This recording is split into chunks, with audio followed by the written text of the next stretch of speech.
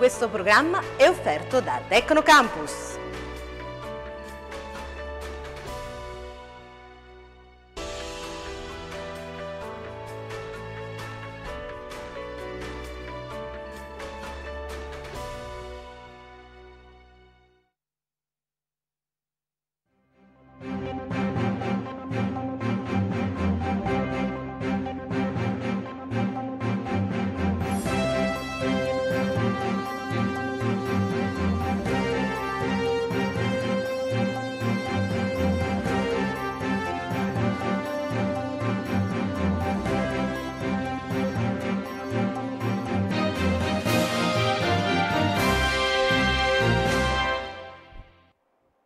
Giovedì 30 maggio, buongiorno da Teleprima, benvenuti anche oggi a questa nostra quotidiana rassegna stampa che come ogni mattina è offerta da Tecnocampus. Anche quest'oggi l'informazione in primo piano riguarda fortemente la politica, visto che ci sono ancora tanti problemi ma soprattutto tante indecisioni per quanto riguarda l'ambito del governo, soprattutto in quello che è il Movimento 5 Stelle. Nella giornata di oggi infatti si voterà sulla piattaforma Rousseau perché Di Maio vuole vuole avere la conferma oppure la smentita per quanto riguarda la sua capacità di essere il primo um, elemento di questo movimento. Ma insomma oggi vedremo che cosa accadrà, si vota appunto da questa mattina fino alle 22 di questa sera, dopodiché il governo vedrà che cosa accadrà. E cominciamo a vedere subito le prime pagine quotidiani nazionali, iniziamo questa mattina col quotidiano di Via Solferino, vediamo cosa ci racconta il Corriere della Sera che parte proprio dal problema eh, dei conti, i timori del Quirinale, assemblea tesa nei 5 Stelle, Di Maio chiede la fiducia sul sito Rousseau, è lo scenario del voto a settembre, la lettera dell'Europa che finalmente eh, era tanto attesa e adesso è arrivata, sforzi non sufficienti, il tesoro, ora le cessioni. E infatti questa è la prima preoccupazione, proprio la lettera arrivata dall'Europa che dice che i nostri conti non sono necessari, non sono fondamentali e non sono abbastanza sicuri per andare avanti. Ma ancora vediamo che cosa viene raccontato nell'editoriale nell di Paolo Mieli, ma il PD ha bisogno di alleati, questa è quella che viene definita l'opposizione e intanto c'è un mese per capire che cosa accadrà di questo nostro governo e sulla rete invece lo psicodramma del movimento proprio riferito a questa votazione nella giornata di oggi. Ancora vediamo Vediamo nella prima pagina le notizie di cronaca. Uccise Pamela, carcere a vita per Osegale, la sentenza di Macerata che è arrivata ieri tante eh, le eh, attestazioni di ehm, gioia, diciamo così, se si può parlare di gioia in questo caso, per eh, ovviamente il, la pena inflitta a Osegale, ma nello stesso tempo c'è chi dice non era da solo. E ancora vediamo nella parte centrale della pagina Firenze esposti 105 dipinti, una quarantina nei depositi, però pensate un po' da decenni. Viaggio negli uffizi mai visti i tesori delle nuove 14 sale e intanto i segreti svelati sotto sotto accusa una toga del CSM ed infine ancora una volta uno sfregio alla Shoah, una scritta eh, che comunque determina proprio una riduzione di quello che è il rispetto per qualcosa che è passato, ma tanto passato non è. Ancora vediamo gli altri fatti in primo piano, ci spostiamo sulle altre testate nazionali, vediamo la verità che in questa mattina apre su Di Maio, mette il governo in mano a 50.000 grillini, la piattaforma decide se deve dimettersi, il vice premier non intende farsi giudicare dai colleghi pentastellati, smaniosi di fargli le scarpe in cassa il via libera di Grillo e oggi probabilmente quello degli iscritti, se non fosse così l'esecutivo avrebbe le ore contate. E intanto la Lega vuole CDM per varare la flat tax e pressa Conte. Lui corre al colle. E ancora vediamo le altre notizie in primo piano. Vediamo un'immagine turbata di Papa Francesco, Viganò Bergoglio mente su McCarrick e il sito del Vaticano, pensate un po', censura le frasi del Papa. Non sapevo nulla, in un'intervista alla tv messicana Francesco finalmente risponde all'ex nunzio che però contrattacca nella traduzione italiana cancellata una risposta del pontefice.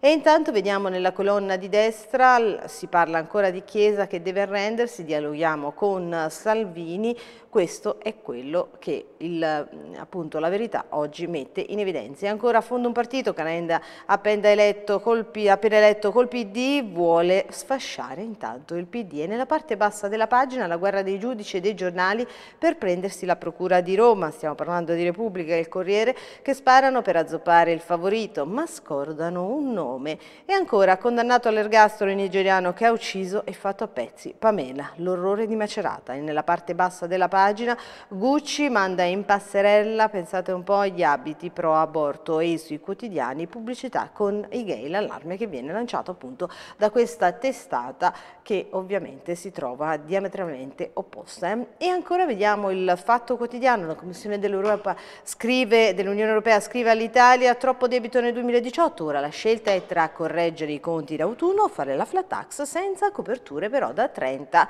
miliardi. E intanto l'apertura è questa. Mattarella s'aggrappa Conte, barricate contro le elezioni anticipate e sicura maggioranza Lega Fratelli d'Italia. Se si vota, a quanto pare, Salvini diventa premier e così si sceglie il nuovo presidente. Nell'incontro tra il capo dello Stato e il premier la parola chiave è congelare il rischio di crisi. Insomma, per evitare una frattura è probabile maggioranza sovranista. Di questo si parla sul Fatto Quotidiano in questa giornata, ma ancora si parla della notte di Di Maio con gli eletti, volete andare tutti a casa? E allora ovviamente votate e vedrete che cosa accadrà. E intanto vediamo ancora in questa prima pagina del Fatto Quotidiano Pignatone, lobbista a cena e la grande guerra di dossier, il Palazzo dei Veleni, Procura Roma, tutti contro tutti per la successione. Ancora continuiamo a sfogliare la prima pagina del Fatto Quotidiano e vediamo proprio il summit del clan, i Casamonica riuniti per far fuori la Raggi, mentre per l'antiambiente, lobby petrolio, mezzo miliardo contro i verdi. Insomma, si lotta ancora contro uh, quello che è stato dichiarato tanto da Greta, questa ragazzina che ha fatto la storia uh, smuovendo le coscienze di tanti coetanei, che adesso viene criticata insieme a lei, viene criticato tutto un movimento uh, che tende com comunque e soprattutto a rendere il mondo qualcosa di molto più bello e soprattutto più pulito. Ancora vediamo nella parte bassa della pagina Lauda, quelli del selfie con il morto, l'estremo oltraggio, solidi webeti ai funerali del campione. Insomma, adesso non c'è rispetto uh, più per nulla, l'unica cosa che si sa e si riesce a comprendere è che ovviamente tutto ciò che uh, è considerato quasi trash diventa uh, la prima voce e soprattutto il primo piano di tanti, ossia il web e soprattutto ciò che è internet, selfie, diventa proprio un'apertura un verso il mondo anche se comunque, ripetiamo, diventa tutto sempre più complicato. E nella parte bassa della pagina l'arte formidabile che anticipa quella che è la fine del mondo nella Biennale di Venezia. Ancora continuiamo a vedere le prime pagine dei quotidiani, ci spostiamo adesso su una nuova testata e andiamo a vedere proprio che cosa racconta questa mattina Libero, che urne cinerarie per il Movimento 5 Stelle, i resti grillini in fiamme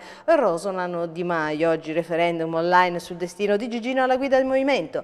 Operazione inutile poiché il capo 5 Stelle è già stato bocciato domenica. Comunque vada, sarà un insuccesso. Salvini lancia l'ultimatum, no alla linea di di Battista, altrimenti a casa. Insomma, queste sono le alternative di Maio o di Battista. Chi vincerà questa uh, vicissitudine, soprattutto questa tornata, chiamiamola così, elettorale online, diventerà il nuovo vice premier, ma il problema grande è che se per caso dovesse essere bocciato Di Maio e passare Di Battista, Salvini lo ha già detto, noi andiamo a casa, il governo finisce qua.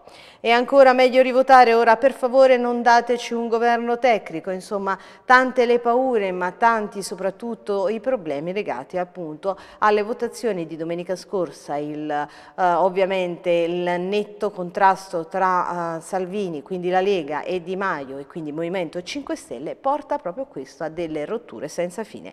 Ancora vediamo nella parte centrale della pagina, si parla di sfida tra donne in tv, a quanto pare finisce pari, Barbara D'Urso e Mara Venier si equivalgono negli ascolti, ovviamente non si equivalgono in quello che è il modo di fare televisione. Nella parte bassa della pagina, eccolo qua da Bruxelles, l'Unione Europea rimprovera l'Italia che invece sta benone, ci sgrida per il debito, ma i titoli di Stato vanno a ruba e pensate un po', la fiducia sale, almeno secondo questa testata. E intanto vediamo nella parte destra della pagina quello che viene definito l'affondatore pentastellato, ma la colpa grave del fallimento è di Casaleggio. E intanto forse una pecora corrotta tra i magistrati, indagato infatti l'attoga Palamara. E ancora nella parte bassa della pagina, troppe storie finiscono male e a quanto pare chi diamante ferisce poi diamante perisce. Oggi la parola amante sembra essere sempre più in voga, sembra quasi che se non si ha l'amante non si è nessuno, sembra proprio che l'amore non regni più in questo mondo, ma a quanto pare tutto il resto sì.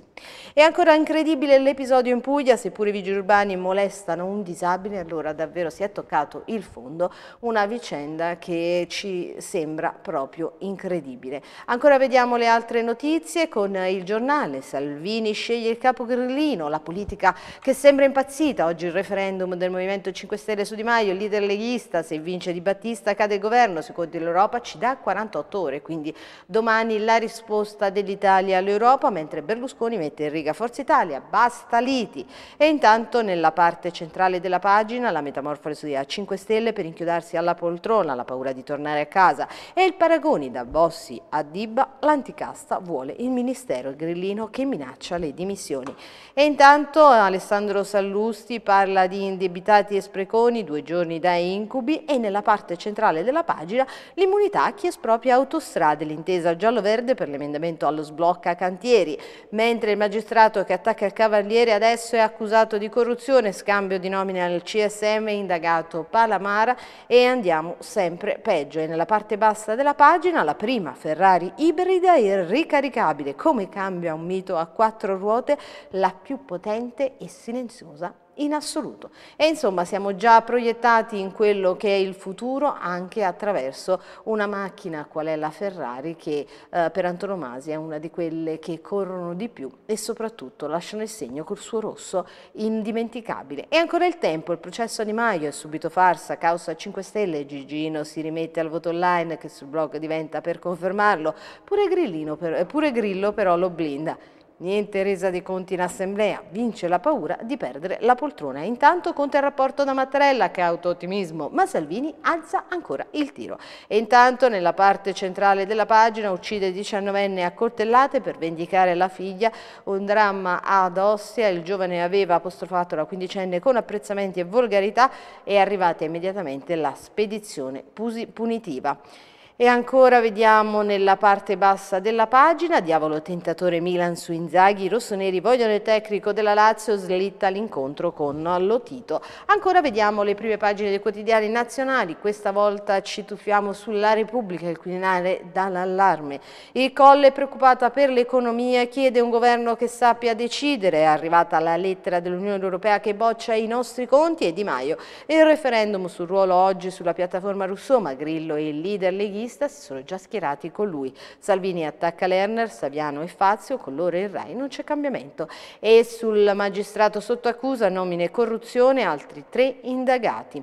E infine vediamo nella parte bassa la pagina, della pagina l'analisi, la finta ordalia dei 5 Stelle nel, nel, racconto di Sebastiano Messina. Per quanto riguarda lo sport invece De Rossi guidò la rivolta anti-Totti, quella che viene definita la vera storia del caos alla Roma. Ancora continuiamo a sfogliare le prime pagine dei quotidiani con il manifesto, Conte firma la tregua con i vice, arriva la lettera di Bruxelles, manovra bis entro il 9 luglio e intanto il rapporto sullo Stato sociale, il welfare aziendale taglia la sanità, mentre la parte centrale annuncia una rete di salvataggio. Ed eccolo qua, vediamo Grillo nell'immagine Di Maio e all'Assemblea dei parlamentari 5 Stelle si allarga il dissenso nei confronti di Di Maio. Dopo la batosta elettorale, ma Grillo e Casaleggio blindano il capo politico. Oggi deciderà la piattaforma Rousseau, il vice premier. Chiedo la fiducia per riorganizzare il Movimento 5 Stelle, altrimenti si cambia.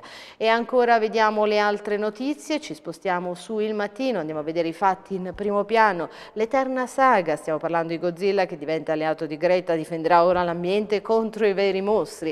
E il festival a Salerno, letteratura, il Pulitzer Power, Solomons e Guglielmini e il gusto, passione pasta e i segreti del cibo più amato degli italiani, dagli italiani, insomma siamo nel 2000 2019, ancora ci sono tante iniziative per quanto riguarda l'alimentazione, ma la pasta rimane ancora una volta il piatto più amato. E il Movimento 5 Stelle in apertura di pagina Di Maio prova a salvarsi, ma avanza al voto anticipato il leader dimissionario Gero dell'Assemblea, in bilico la conta su Rousseau, Salvini da Conte, vai avanti, ma il Premier al colle non mi faccio rosolare.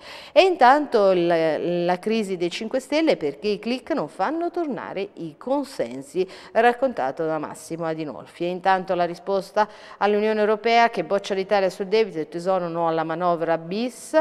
E infine nella parte più bassa della pagina lo sport trionfo Chelsea, il tecnico dedicato ai tifosi del Napoli, Sarri sa anche vincere ora la Juve a quanto pare è a un passo, mentre la, per la lotteria reddito e secondo accredito in forte ritardo, le prime ricariche iniziarono già da metà aprile, proteste nei CAF, non c'è certezza nei pagamenti. E ancora una volta i danni del federalismo Giorgetti ammette Sud senza asili nido rimedierà a questo punto il giudice ovviamente eh, nelle, negli impegni di Salvini, adesso che ha avuto più del 34% per quanto riguarda le europee, c'è in testa ovviamente l'autonomia regionale e a chi andrà a discapito questo lo vedremo. E nella parte bassa della pagina il fronte del Made in Italy di qualità, dalla mozzarella al parmigiano, la rivolta DOP ai dazi di Trump. Ma anche questa è una notizia che esamineremo nei particolari durante il corso di questa rassegna stampa. Intanto ci spostiamo sulla parte sportiva e vediamo che dal Corriere dello Sport Sarri Ball, Maurizio trionfa 4-1 la Juve, intanto lo aspetta.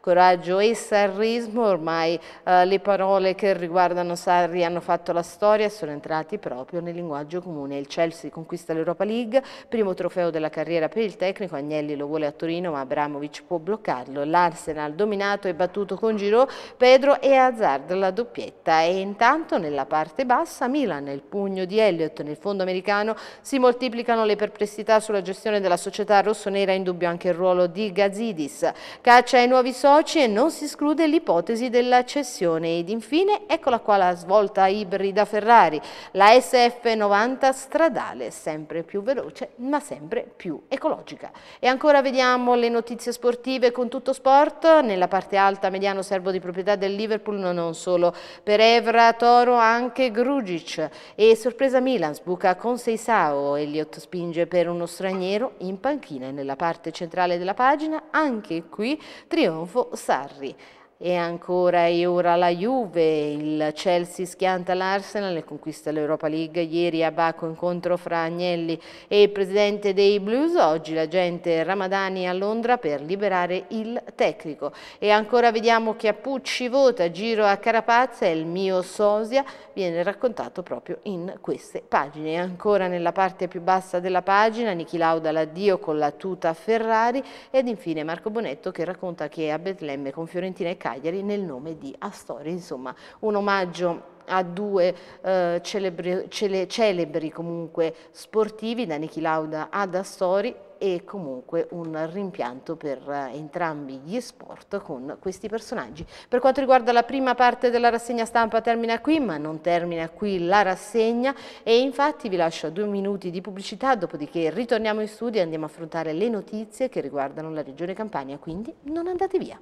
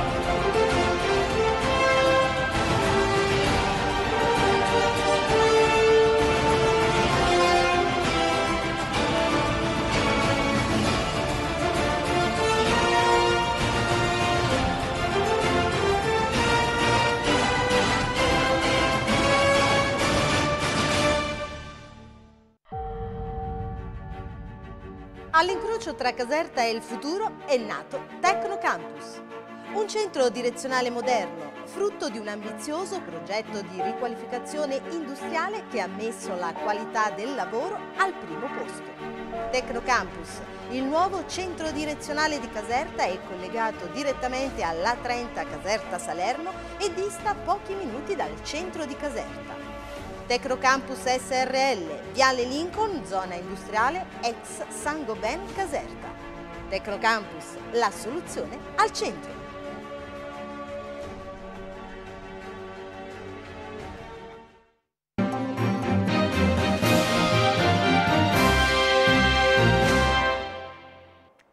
Ed eccoci di nuovo in studio, pronti ad affrontare quelli che sono i temi che riguardano la regione Campania con una, una, particolare attenzione per Caserta, la sua provincia, ma cominciamo subito a vedere i fatti che riguardano Napoli, ma in questo caso riguardano un po' tutti noi e soprattutto chi è genitore, quindi le mamme. Infatti la mamma di Noemi, stiamo parlando della bimba che è stata colpita in piazza nazionale lo scorso 3 maggio, dice la mamma, mia figlia soffre ma sorride, per ora non può ancora giocare, la bimba è ancora ricoverata al Santo Bono però è uscita ovviamente dalla rianimazione. Il colpo di pistola non è riuscito a toglierle il sorriso né quella luce negli occhi che si accende quando Noemi, la piccola guerriera di 4 anni, incrocia lo sguardo dei genitori. Ma il cammino è ancora lungo, la strada in salita e Tania non lo nasconde, mia figlia non si può ancora muovere, avrà bisogno di tante cure, terapie e attenzione prima di poter tornare alla vita normale, dice la madre della bambina ferita nella folle sparatoria di Piazza Nazionale. Insomma, non è semplice, assolutamente non è semplice, ma sicuramente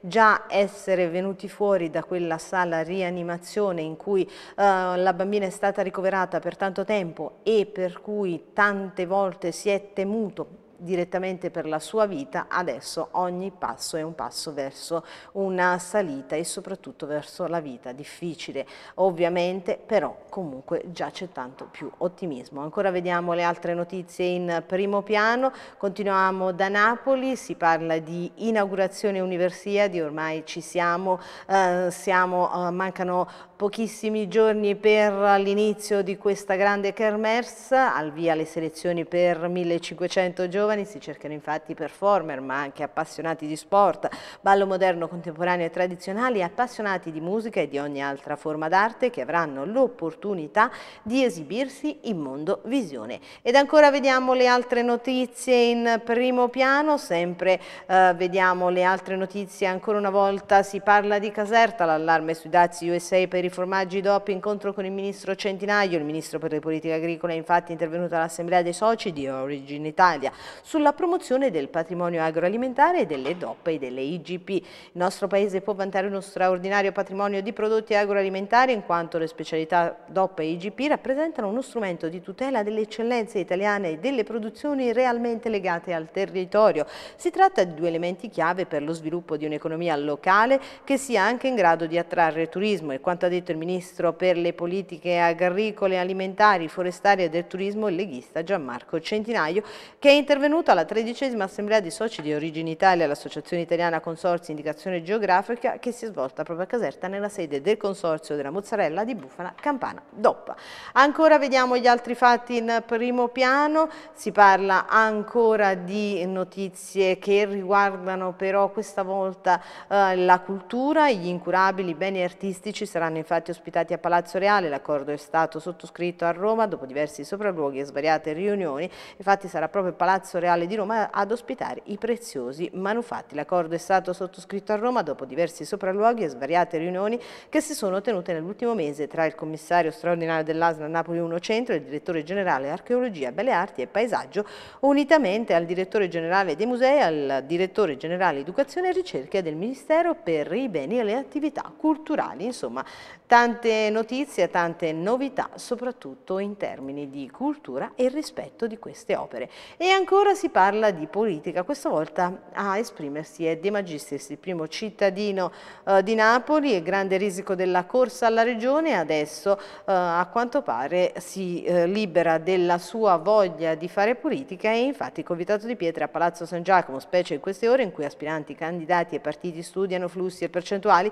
per calare le carte da gioco su sul tavolo delle regionali, altro che Movimento 5 Stelle Lega, il politico del movimento di cui, volente o nolente, occorre tenere comunque conto in Campania, rimane il sindaco Luigi De Magistris che a sua volta, archiviate le europee, deve pure avere, ehm, e dove ave, pure aveva immaginato di mettere una sua fiche presentando una sua lista, può ripiegare solo sulle regionali dell'anno prossimo, altrimenti con la fine del suo secondo mandato nel 2021 potrebbe vedere poi interrompere la sua carriera politica e per un periodo lungo. Per ora però Di Magistris, come nel suo stile, ammicca, minaccia e dissimula pur di non scoprire quelle che sono le sue carte. E ancora vediamo gli altri fatti in primo piano. Napoli, il marciapiede che non c'è, ma attenzione, è già assegnato al fratello del sindaco. E infatti ironico il presidente del municipale di Chiaia, mentre stringe tra le mani il documento varato dal comune. È incredibile, queste carte le ha prodotte qualcuno in grado di prevedere il futuro, sorride Francesco De Giovanni, laddove c'è un parcheggio con strisce blu e già disegnato un ampio marciapiede e su quel marciapiede che ancora deve essere costruito sono già previsti due gazebo a disposizione di un locale. Ah, a proposito di quel locale, socio anche il fratello del sindaco. Stiamo parlando, l'avrete capito, del Baroc, inaugurato lo scorso dicembre al termine di un lunghissimo percorso di polemiche e l'attenzione venne generata da una richiesta presentata dal proprietario della struttura per aderire al progetto comunale adotta una strada. Si chiedeva al comune di poter ampliare il marciapiede di Piazza Vittoria che si trova proprio dinanzi al comune. Ancora vediamo le altre notizie in primo piano, vediamo chi è il questore di Napoli, dopo che De Jesu è stato, uh, è stato, promosso e quindi adesso si trova a Roma, Giuliano è proprio il nuovo questore, il poliziotto, dice non l'opinionista.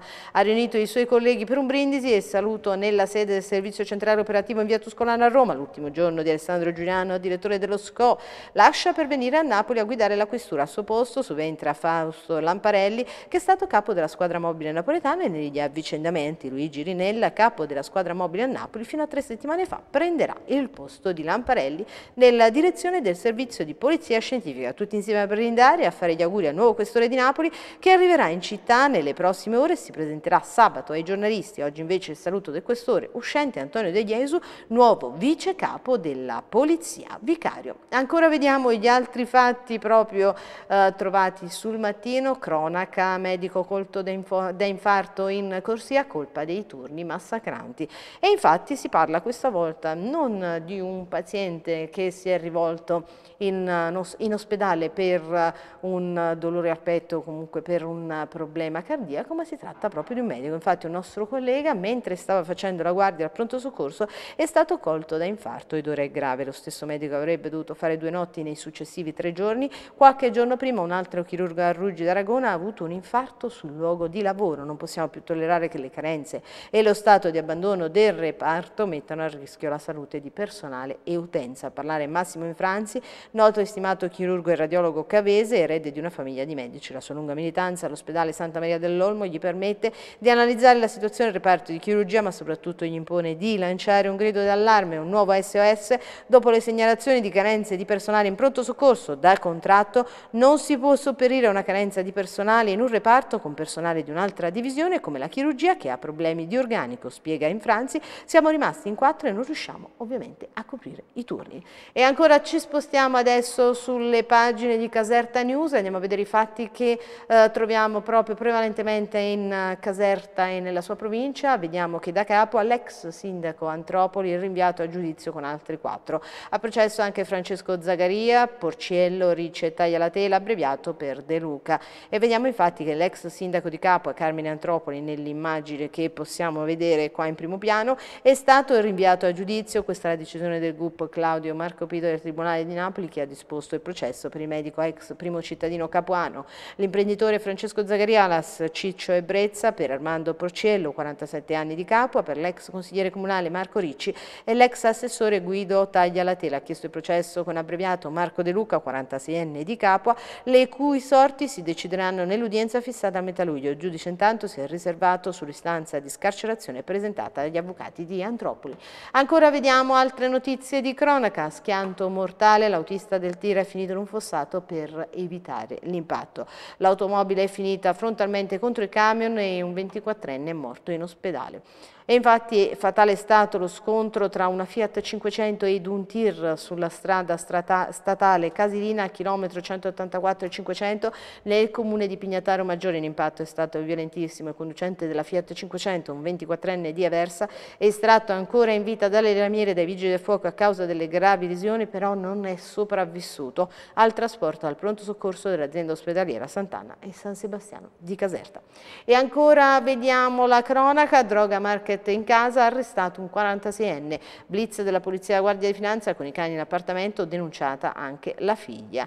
E infatti quando gli agenti della squadra mobile della Polizia di Caserta e quelli del commissariato di Santa Maria Capovetere hanno fatto irruzione nel suo appartamento a Viturazio, ha tentato di giocarsi la carta della disperazione gettando un involucro contenente cocaina dalla finestra del bagno, ma questo non è servito ad evitare l'arresto per spaccio di droga. Già da qualche giorno gli agenti della mobile e quelli del commissariato samaritano stavano monitorando quella casa trasformata in un vero e proprio market della droga, giorni di appostamento per monitorare quell'insolito andirivieni di clienti che salivano e scendevano dall'appartamento per acquistare stupefacenti di vario titolo. E insomma è rimasto stupito proprio quest'uomo che alla fine è stato arrestato e sembra essere arrivato proprio al capolinea, almeno per il momento, quella che è la sua attività. E ci spostiamo adesso su Caserta, prima pagina, dove vediamo che si parla di Bufala Village a Caserta, la presentazione in sala giunta con Caturano e Marino. Vediamo l'immagine, anche questa in primo piano, con un sindaco sorridente e infatti è stato il sindaco di Caserta, Carlo Marino, a fare i migliori auguri agli organizzatori del Bufala Village nel corso della conferenza stampa di presentazione dell'evento che da venerdì 31 maggio fino a domenica 2 giugno animerà la Villa Maria Carolina dalle 10 del mattino fino a mezzanotte. Sono convinto che questa iniziativa che riesce a mettere in collegamento la bellezza dei nostri monumenti con una filiera produttiva di eccellenza potrà rappresentare un'occasione per tutta la città, dichiarato nel suo intervento, e a illustrare nei dettagli il progetto è stato il presidente del Polo Fieristico A1 Expo, Antimo Caturano, promotore dell'iniziativa. Abbiamo voluto collegare il nostro evento alla Reggia di Caserta perché il Bufala Village è un evento itinerante che mira a valorizzare tutte le qualità del bufala mediterranea italiana, ancora poco conosciuta e intendiamo esportare non soltanto una filiera produttiva d'eccellenza, ma anche il nostro territorio, ha sostenuto il presidente Caturano che è passato qua a illustrare nei dettagli il villaggio allestito nella Villa Maria Carolina. Nella mattinata di venerdì ci sarà l'inaugurazione con la consegna della chiave del villaggio agli studenti delle scuole casertane da parte del sindaco Carlo Marino, un villaggio sorto grazie alla passione dimostrata dagli organizzatori e dagli allevatori che entusiasticamente hanno aderito a questa iniziativa. Insomma, i ragazzi delle scuole di Caserta potranno vedere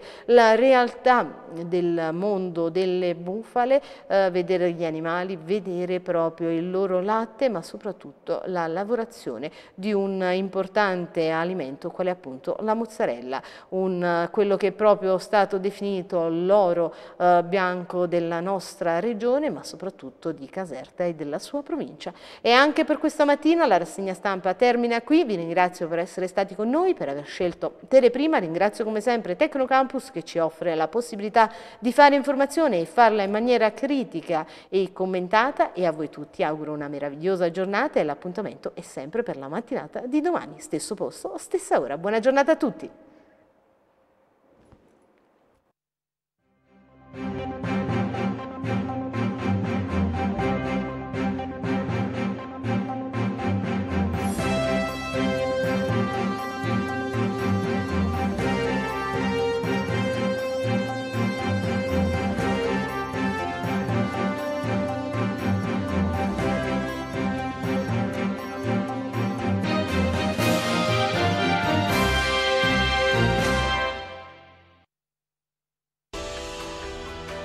Questo programma è stato offerto da Tecnocampus.